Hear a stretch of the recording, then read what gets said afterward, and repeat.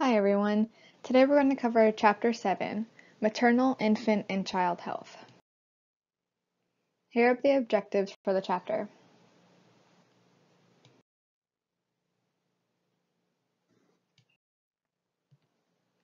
In this chapter, we present a health profile of mothers, infants, and children. Infants are those that are younger than one year, and children refer to ages 1 through 9 years. In the following two chapters, the health profiles will be presented for adolescents and young adults, and adults, and older adults or seniors. Various sources may group ages differently to describe and measure health status, but in this book, we're going to refer to them as children 1 through 9 and infants less than 1 year. And this is consistent with the World Health Organization and a lot of public health professionals. So maternal, infant, and child health, often abbreviated MIC, encompasses the health of women of childbearing age from pre-pregnancy through pregnancy, labor and delivery, and the postpartum period, and the health of the child prior to birth through adolescence. Maternal, infant, and child statistics are important indicators of the effectiveness of disease prevention and health promotion services in a community. We know that unintended pregnancies, late or no prenatal care, poor maternal and child nutrition, maternal drug use, low immunization rates, poverty, limited education, and insufficient child care, combined with a lack of access to healthcare services, are precursors precursors to high rates of maternal, infant, and childhood morbidity and mortality. And just as a reminder, morbidity refers to having diseases and mortality refers to death. And we know that a lot of these factors can be reduced or prevented with the early intervention of educational programs and preventative medical services for women's infants and children.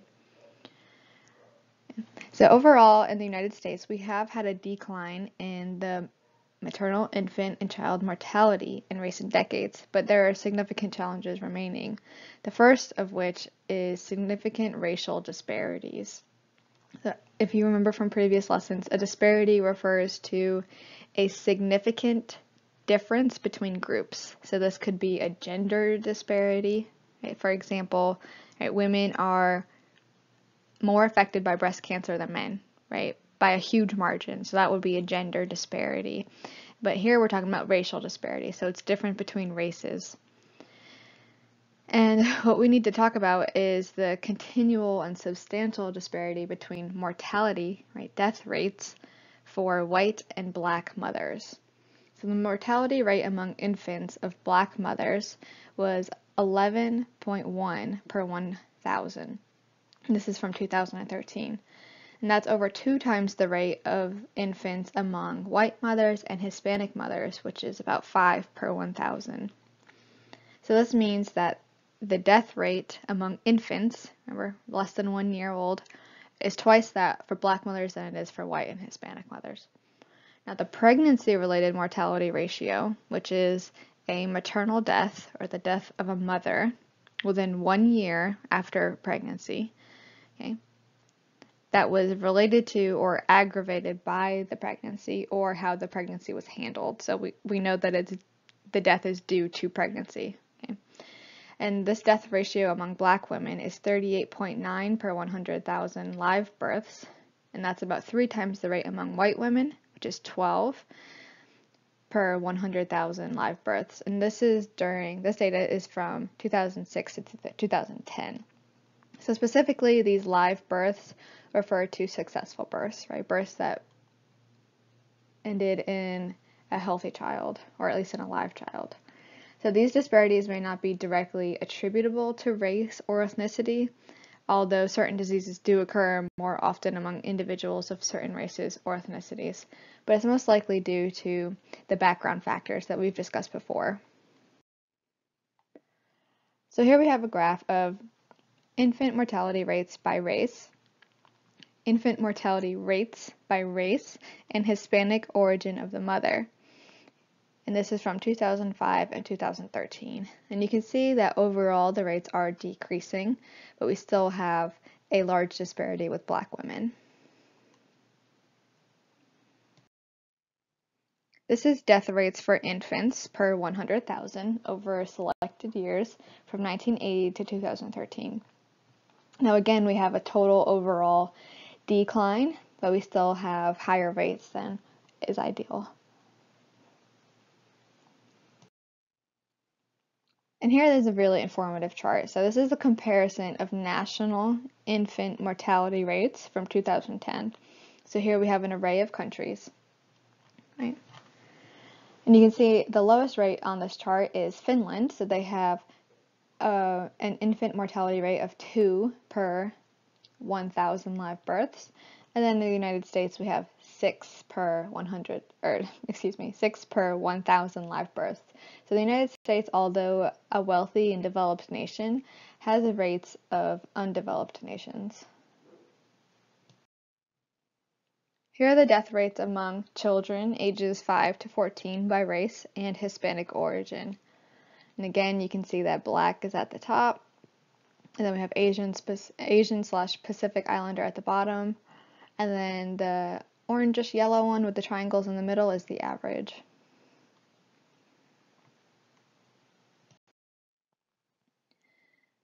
So this is a really important box from the book, and it shows rates for each day in America for all children. And I think this provides an overall synopsis of maternal, infant, and child health in the United States. So every single day, two mothers die in childbirth, four children are killed by abuse or neglect, five children or teens commit suicide, seven children or teens are killed by guns, 24 children or teens die from accidents, 66 babies die before their first birthday, 187 children arrested for violent crimes, 408 children arrested for drug crimes, 838 public school students are corporally punished, 847 babies are born to teen mothers, 865 babies are born at low birth weight, 1,241 babies are born without health insurance, 1,392 babies are born into extreme poverty,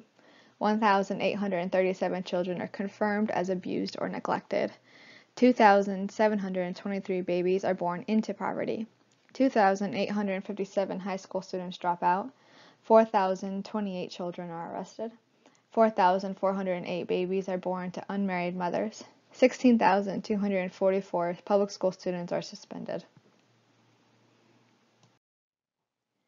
So even with the slight decline we have in mortality rates, there is still much to be done to improve the health of American children. First, right, based on the last slide, we need to recognize that children today face other concerns that put them at risk for poor health. These concerns have been referred to as the new morbidities and include their family, social environments, behaviors, economic security, and education. So now we're going to discuss family and reproductive health. And families are the primary unit in which infants and children are nurtured and supported regarding healthy development. And there are various definitions of family, as this concept has changed over time, depends on social and cultural norms and values, and may be conceptualized differently on an individual basis. The U.S. Census Bureau defines a family as a group of two people or more, one of whom is the householder, related by birth, marriage, or adoption, and residing together. All such people are considered as members of one family. Another definition of family is two or more persons who are joined together by bonds of sharing and emotional closeness who identify themselves as being part of the family. With delays in childbearing and increases in cohabitation, along with changes in societal norms related to having children outside of marriage, the percentage of births to unmarried women has risen over the past several decades. Now it's important to notice this, okay? So just because we refer to a birth or a pregnancy as occurring to an unmarried woman, that does not mean that she does not have, you know, a spouse, a partner, someone supporting her just as much, if not more, than a husband would, right? So unmarried doesn't reflect the negative association we tend to think of it with, right? Lots of people cohabitate, people are getting married later. This is not a negative thing. So just keep that in mind when we talk about unmarried births and pregnancies. That doesn't automatically mean negative, okay? All right, so unmarried births, right, going off of that, uh, also vary among other population subgroups. So in 2013, 35% of births to white women were out of wedlock, meaning they were unmarried, and 71% of births to black women were out of wedlock, as in they were unmarried. And again, remember, unmarried includes both women who are single and those are who, who are cohabitating with the father of their child or with another partner. Unmarried women are more likely than married women to experience negative birth outcomes. Married women are more likely than unmarried, non cohabitating women to initiate prenatal care early in pregnancy. Okay, so married women are more likely to get medical care earlier in pregnancy. And married women are also less likely than unmarried, non cohabitating women to rely on government assistance to pay for pre- prenatal care. Excuse me.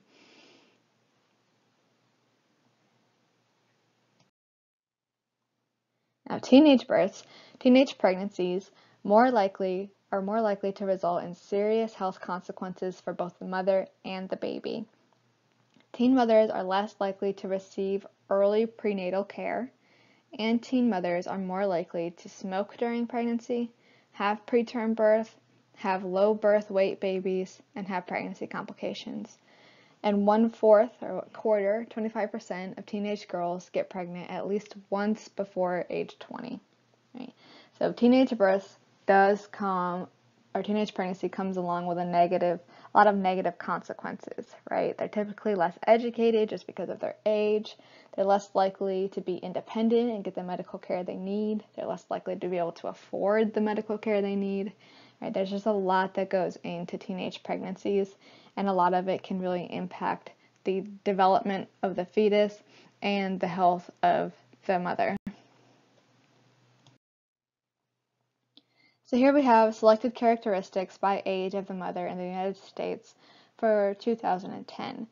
So in orange we have mothers aged 15 to 19 years old, and in pink we have mothers aged 20 to 44 years old. So this is a huge uh, difference, right? We have teen pregnancies, and then non-teen pregnancies.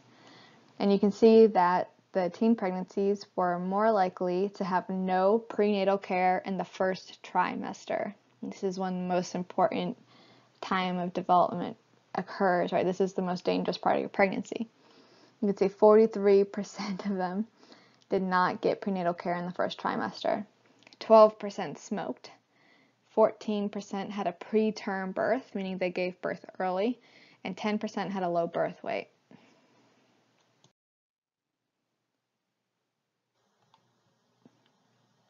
So unfortunately, the adverse consequences related to teen pregnancy do not end when the child is born. Right? There are still more consequences. Teenagers who become pregnant and have a child are more likely than their peers who are not mothers to drop out of school, not get married, or to have a marriage ending in divorce, they're more likely to rely on public assistance and live in poverty. It's difficult to determine the actual impact, the total impact of teen pregnancy because women, the women who do face educational, economic, and social hardships that may be more likely to experience a teen pregnancy in the first place. So though, although teen childbearing may not be the sole cause of these hardships, it does make it more difficult to overcome them. Right? It's a lot more difficult to get out of poverty when you have a dependent or even multiple dependents. Okay? Children born to teenage mothers have an increased risk of being abused or neglected and of experiencing lower educational attainment. They're less likely to advance academically. Sons of teen mothers are more likely to be imprisoned at some point, and daughters are more likely to become teenage mothers themselves when compared with children born to older mothers. Teenage pregnancy and childbearing also have substantial economic consequences for society. In 2010, teenage childbearing cost payers, taxpayers at least 9.4 billion in costs associated with healthcare, foster care, incarceration, and lost tax revenue.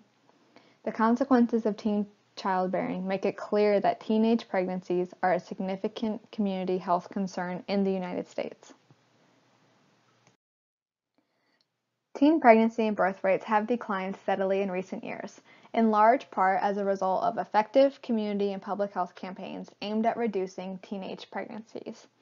So although earlier I mentioned that unmarried pregnancies are not isn't exactly a negative connotation, right? People consider it negative, but it doesn't automatically assume that the situation is negative. But when we talk about teenage pregnancies, this is something we really want to reduce. Okay? It's dangerous, it has lots of consequences, and it can make it really difficult for the mother and the child to have a high quality of life. Between 1991 and 2013, the teenage birth rate in the United States has declined by 57% to 26.5 births per 1,000 teenagers. And every year in the United States, we have 273,105 teen pregnancies per year. Now, the choice to become a parent is a critical decision that affects the individual and the community. People who become parents acquire the majority responsibility for another human being, and this needs to be recognized, right? They must provide an environment conducive to child development and one that pr protects and promotes health. It's not a decision to be made lightly or to be done just because that's the normal thing to do, right? You want to make sure you're really prepared financially, especially. So family planning gives individuals and couples the ability to determine the number and spacing of their children. Okay, so family planning refers to determining do you want children, right? Yes or no. How many children would you like to have? Blah, blah, blah. H how far apart would you like to have these children? Right, so it's really consciously thinking about it. And if you're deciding not to have children, or you're deciding not to have children right now, you're taking action towards that. Okay, so for example, if Susan wants to have a child after she's been working in a solid career for five years at least, right, she'll get on birth control until that time comes. Or if I know I do not want children, I never want to have children, I can get on some type of birth control. I can make sure that I'm using some sort of contraceptive, maybe even a long term contraceptive. Okay, so it's just consciously deciding what you want to do and then implementing that. And as I said earlier, right, deciding whether or not to become a parent is an important and consequential decision. Right? I really want to emphasize this. Parenthood requires enormous amounts of time, energy, and financial commitment, but most notably, it requires the willingness to take full responsibility for a child's growth and development. And planning a pregnancy is the first step to ensuring the best health for the mother and the fetus during pregnancy. Right? The more planned it is, the better the outcomes will be. Right now, approximately one half of all pregnancies in the United States are unintended, right? You can say accidental, but unintended is the correct term. And about 43% of those end in abortion.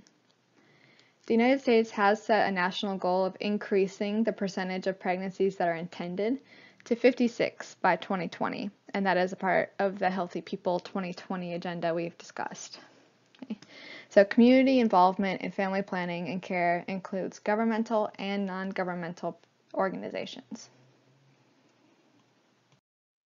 Now, as I said earlier, about half of all pregnancies in the U.S. are unintended, and almost half of those end in abortion. So an unintended pregnancy refers to one that is unwanted, right, as if the mother does not, or woman does not want to be pregnant, or mistimed, meaning I don't want to be pregnant right now, right? I might want to have children, but just not right now.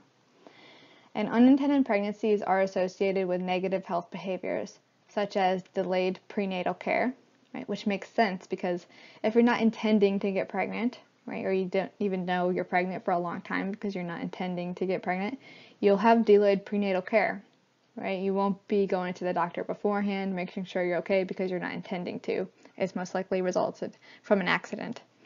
It's also associated with inadequate weight gain, smoking, and alcohol and other drug use, which again, if you're not intending to get pregnant or you don't know you're pregnant, smoking or using alcohol or other drugs might be part of your normal behaviors, right? You might drink with friends casually, and it wouldn't be surprising to do that if you did not know you were pregnant, right? It's not it doesn't have to be intentionally harmful. So the Title 10 of Public Health Service was signed into law by President Nixon in 1970, and this was to provide family planning services to all that wanted them but that could not afford them. Okay, so the aim was to reduce unintended pregnancy by providing contraceptive, birth control, and other reproductive health care services to low income women. Okay. So, for over four decades, Title X has been this nation's major program to reduce unintended pregnancies. They also provide, like it says, reproductive health care services such as screening for sexually transmitted infections, STIs, to low income women. It currently provides funding to support a network of 4,100 family planning centers nationwide.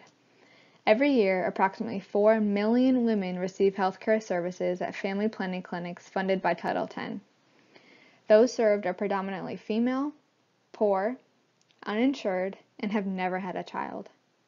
And these services are pro- provided through the state, county, and local health departments, community centers, Planned Parenthood centers, and hospital, school, and some faith based organizations.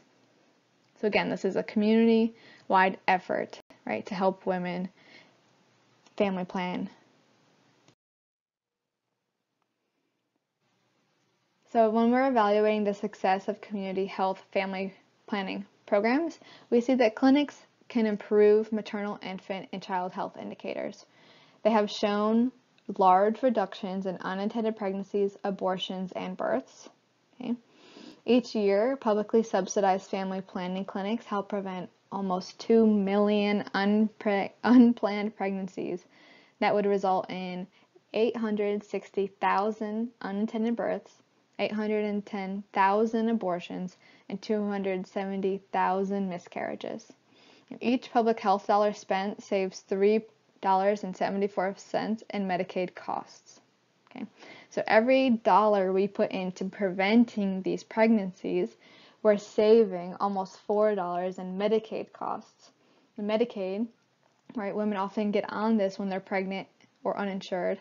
They get on it because it helps low income women, right, through pregnancy. Now, today, one of these clinics that's the most successful is the Planned Parenthood Federation of America. Right. This has grown to be the largest voluntary reproductive health care organization in the world, and it is dedicated to the principle that every woman has the fundamental right to choose when or whether to have children.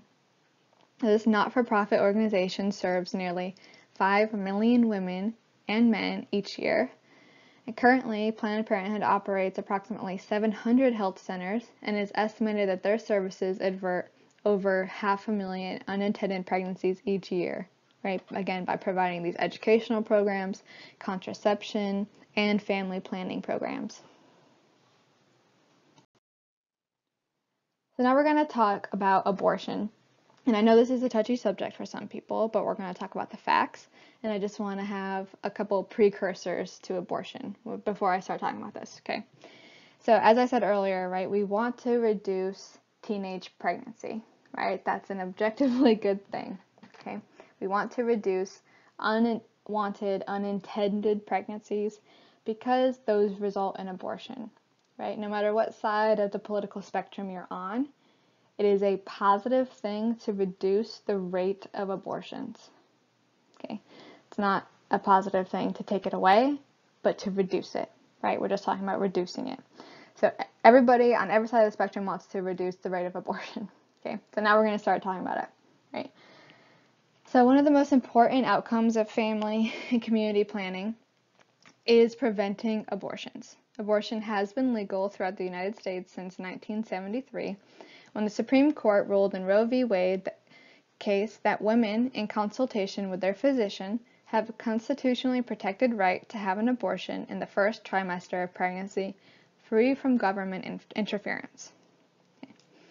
Since 1969, the Center for Disease Control and Prevention has been documenting the number and characteristics of women obtaining legal induced abortions to monitor unintended pregnancy and to assist with efforts to identify and reduce preventable causes of morbidity and mortality associated with abortions.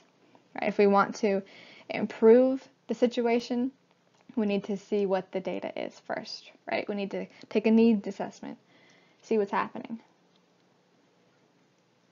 As a result of Roe v. Wade, the number of women dying from illegal abortions has diminished sharply during the last three decades in the United States. Okay, so as it has become legal and accepted, the rates of death from illegal abortions has decreased. Almost, it's almost non-existent now. Okay. However, doubters remain, largely among those whose main strategy for reducing abortion is to outlaw it. And although it may seem paradoxical, the legal status of abortion appears to have relatively little connection to its overall pervasiveness. I'm going to say this one more time. The legal status of abortion appears to have relatively little connection to its overall pervasiveness. Now, what I'm saying is that even if it is made illegal, it, that has no effect on the number that are occurring. Okay, so whether it's legal, semi-legal, totally legal, women are still getting abortions. Now, the issue of abortion has become a hotly debated topic. Political appointments can be won or lost depending on a candidate's stance as pro-life or pro-choice on the abortion issue. Okay. Pro-life groups believe that life begins at conception and that an embryo is a person. Therefore, they conclude that performing an abortion is an act of murder. The pro-choice position is that women have the right to reproductive freedom. Pro-choice advocate that Pro-choice advocates, excuse me, think that the government should not be allowed to force a woman to carry to term and give birth to an unwanted child. Evidence shows that laws against abortion do not correspond with lower rates of abortion. In fact, the highest rates of abortion occur in countries where the practice is illegal, and the lowest rates are in countries where it is legal and access to contraception, birth control, is high. This suggests that access to contraception and corresponding declines in unintended pregnancy are the most effective means to reducing abortion. I'm going to say this again. This suggests that access to contraception and corresponding declines in unintended pregnancy are the most effective means to reducing abortion. In countries where abortion is illegal, women may resort to dangerous methods to terminate the pregnancy. Unsafe abortions are a significant contributor to maternal death. There are also extenuating circumstances such as rape or danger to the mother if she continues to carry the child, which makes the issue less clear, makes it less black and white for people. The effects of pregnancy and childbirth on women is an important indicator of health. Okay? Pregnancy and delivery can lead to serious health problems for women, and this could result in a maternal death. So the International Classification of Diseases, or the ICD-10, defines a maternal death or maternal mortality as the death of a woman while pregnant or within 42 days of termination of pregnancy, irrespective of the, of the duration and the site of the pregnancy, from any cause related to or aggravated by the pregnancy and its management, but not from accidental or incidental causes.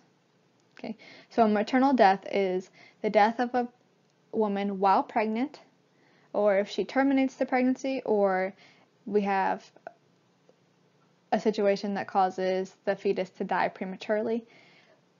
If she dies within 42 days of that, that's still considered a maternal death, right?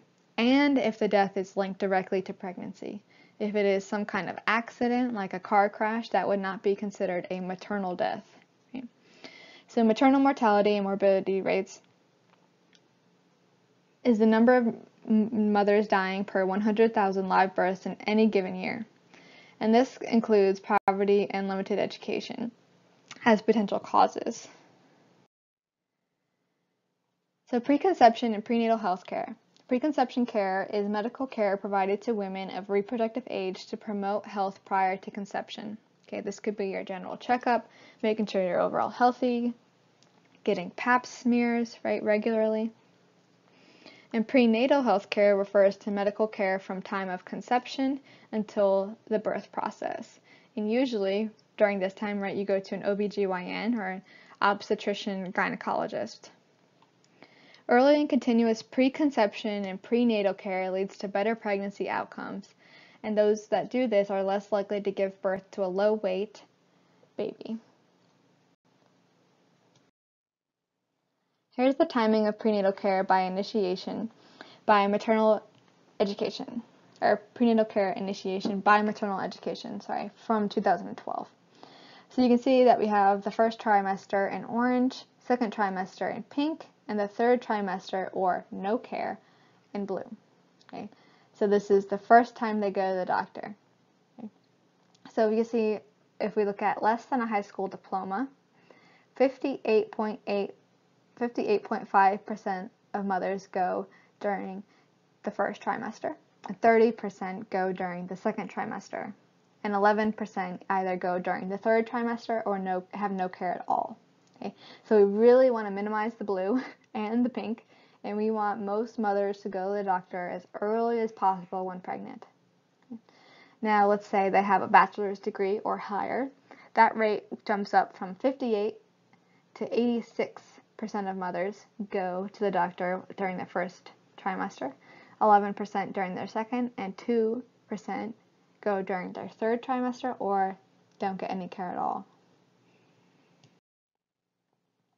Now here's a checklist for preconception health. So I'll just read a couple of these, right? We want to plan pregnancies, eat healthy foods, be active, take vitamins, try to avoid STDs, other infections, harmful chemicals, make sure you have all your vaccinations, manage your stress, stop smoking, don't use illicit drugs, reduce alcohol intake before trying to get pregnant, and cease drinking alcohol while pregnant. Manage health conditions, learn about your family's history, and get regular checkups. Now, an infant's health depends on many factors, which include the mother's health and her health behavior prior to and during pregnancy, genetic characteristics, level of prenatal care, the quality of her delivery, and the infant's environment after health or after birth. The infant's environment includes not only the home and family environment, but also the availability of essential medical services such as postnatal physical examination, regular visits to a physician, and the appropriate immunizations. The infant's health also depends on proper nutrition and other nurturing care in the home environment. Shortcomings in these areas can result in illness, developmental problems, and even the death of a child. Infant death is an important measure of the nation's health because it is associated with a variety of factors such as maternal health, quality of access to medical care, socioeconomic conditions, and public health practices. An infant death or infant mortality is the death of a child younger than one year. The infant mortality rate is expressed as the number of deaths of children younger than one year per 1,000 live births.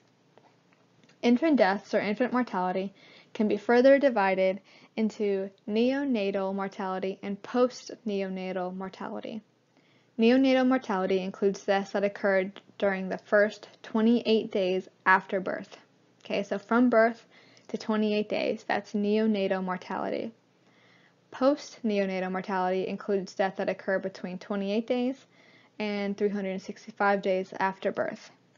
Okay, so after the first few weeks, that's considered post neonatal. Approximately two thirds or 66% of all infant deaths take place during this neonatal period, within the first four weeks. The most common causes of neonatal death are disorders related to short gestation, giving birth prematurely, and low birth weight, congenital malformations, meaning a malformation were, they were born with, and complications of pregnancy. So in order to improve infant health, there is currently no way of predicting which infants will die because of SIDS. However, research has so shown that sleeping on the back all the time rather than the stomach or side greatly decreases the risk of SIDS.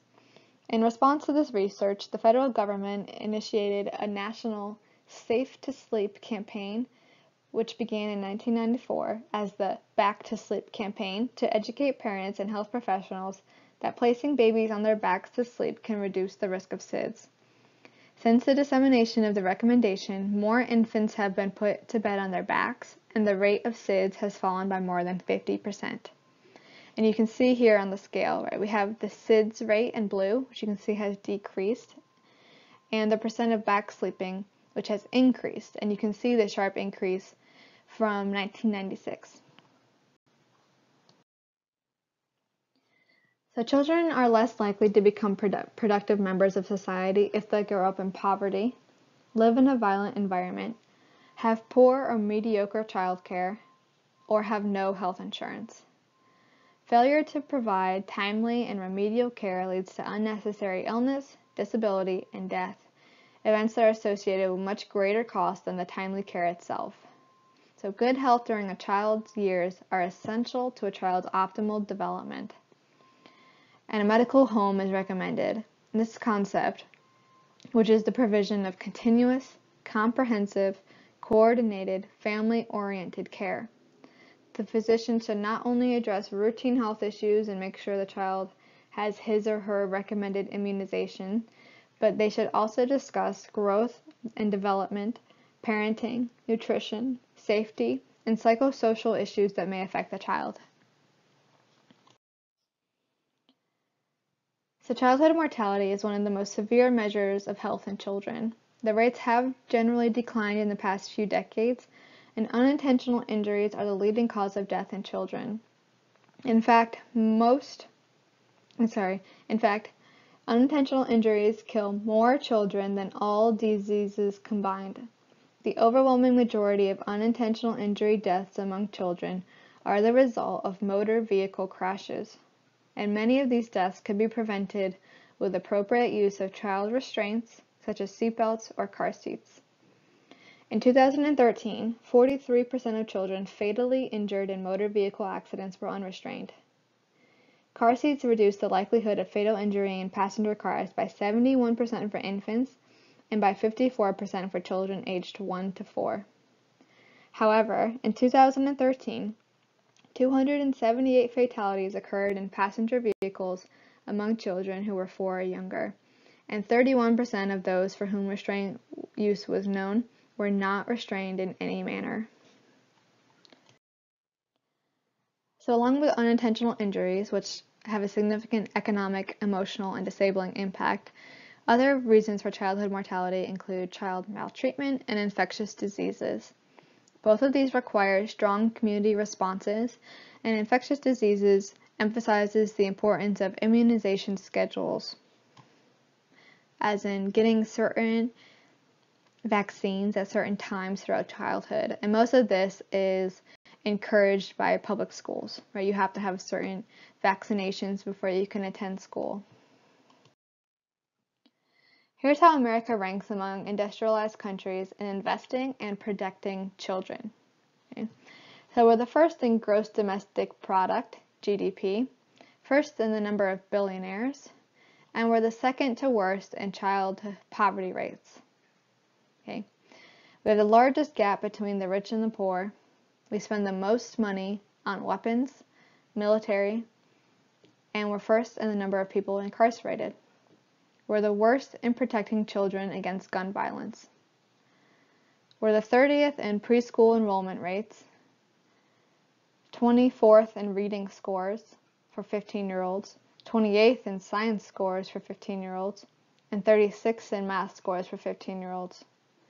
We spend the most money on health, and we're the 25th in low birth weight rates, 26th in immunization rates, and 31st in infant mortality rates. And we're the second to worst country in teenage births. In the preceding slides, many problems associated with maternal, infant, and child health have, have been identified. Solutions for many of these problems have been proposed, and in many cases, programs are already in place. Some of these programs are aimed at preventing or reducing the levels of maternal and infant morbidity, morbidity and mortality, whereas others are aimed at the prevention or reduction of childhood morbidity and mortality. So the federal government has over 35 programs in 16 different agencies to serve the needs of nation's children. Many are categorical pro programs, which means that they are only available to people who fit a specific group. Therefore, many fall through the cracks. So a specific group could be based on a disease, age, geography, financial need, or other variables. And again, this means that many children fall through the cracks and are not served based on their needs. So Title V, the Women, Infants, and Children, or WIC program, is a clinic-based program designed to provide a variety of nutritional and health-related goods and services to pregnant, postpartum, breastfeeding women, infants up to one year of age, and children under the age of five. It began as a pilot program in 1972 and received permanent federal funding in 1974. And this was in response to growing evidence linking nutritional inadequacies to mental and physical health defects. Pregnant or postpartum women, infants, and children up to the age of five are eligible if they meet the following three criteria. First, they have to reside in the state in which they are applying. That is, if I live in Mississippi, I have to apply to the Mississippi WIC program. There are certain income requirements. The applicant must have a household income at or below 185% of the federal poverty income guidelines. Means I have to be substantially below the poverty level. And three, I have to have a determination to be at nutritional risk by a health professional. So you have to have your doctor sign off. Since WIC's inception as a National Nutrition Program, it has grown dramatically. In 1974, the average number of monthly WIC participants was 88,000. In 2014, that number was just over 9 million women, infants, and children. Among WIC participants, children make up one half, infants make up one quarter, and women make up one quarter. Here are the breastfeeding initiation rates by state for WIC infant participants aged 6 to 13 months. And you can see that the lighter states have less breastfeeding occurring. Darker states have more breastfeeding occurring.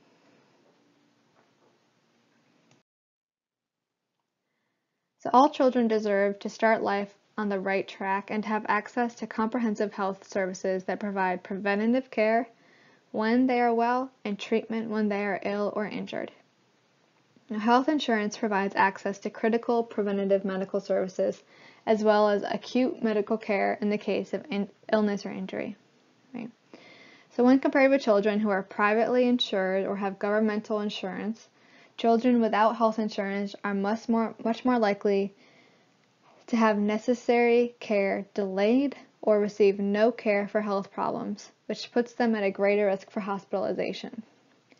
Therefore, providing health insurance to low-income children is a critical health care safety net.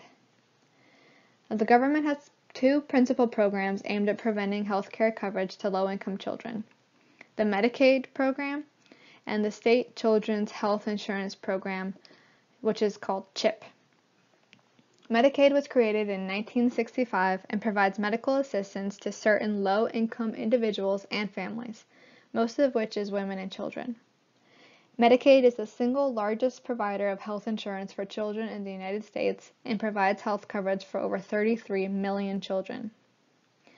Although the Medicaid program is a critical health care program, being poor does not automatically qualify a child for Medicaid. Medicaid eligibility is determined by each state based on various age and income requirements. As a result, Medicaid coverage varies across the states and leaves a significant number of poor children uninsured. To broaden the coverage to low-income children, Congress created CHIP under provisions in the Balanced Budget Act of 1997. Although parents should accept the primary responsibility for raising their children, the government can assist families who need help making important investments.